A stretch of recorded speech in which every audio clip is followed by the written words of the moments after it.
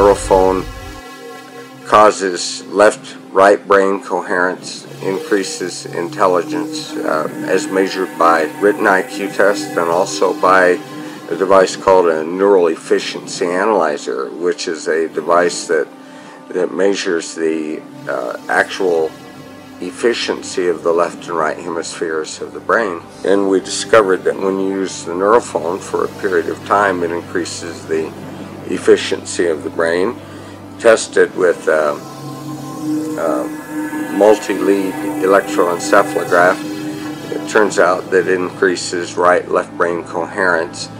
And of course, we didn't know how the neurophone worked for 40 years after it was invented. Sometimes there's, you know, the fax machine was invented in 1900, but the fax machine didn't actually get on the market and, and start becoming successful for 60 years.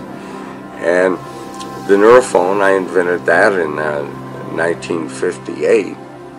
And in 1997, a scientist at the University of Virginia reconstructed a neurophone using very, very high-tech equipment and discovered that there is an organ in the inner ear called the saccule. And the saccule is, is about the size of a pea, a little tiny organ in the inner ear.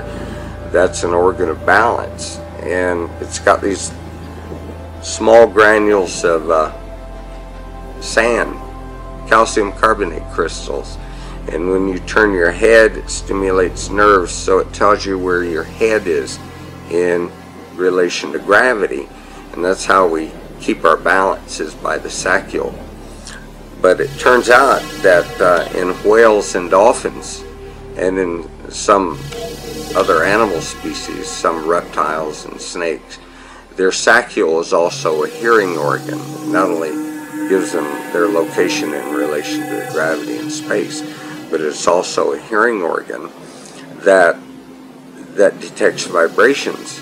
And in whales and dolphins, it turns out it is their hearing organ that is used to hear ultrasonic sounds transmitted through the water.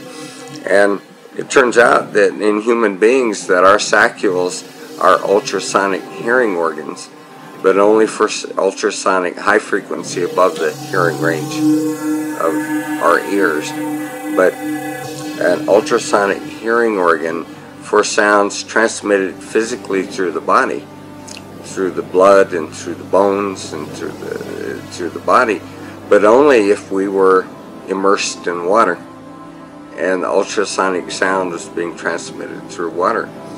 And that revelation, that's, that's 40 years after I invented the neurophone. And it turns out that we have that in common with whales and dolphins.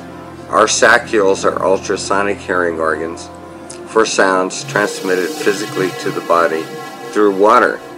Or now, with my neurophone, through these ultrasonic transducers that you place on the head, and they transmit ultrasonic sound into the skull and into the body the same way as if you were immersed in water receiving ultrasonic sound transmitted by whales and dolphins. Whales and dolphins are the only species in the ocean that transmit ultrasonic sound and receive ultrasonic sound through their saccules.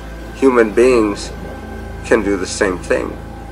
And so 40 years after the discovery of that, so this is that spiral coming around. And then I had some very profound revelations and understanding about how the neurophone works. And so the neurophone is, is um, with this new knowledge, I'm developing new neurophones.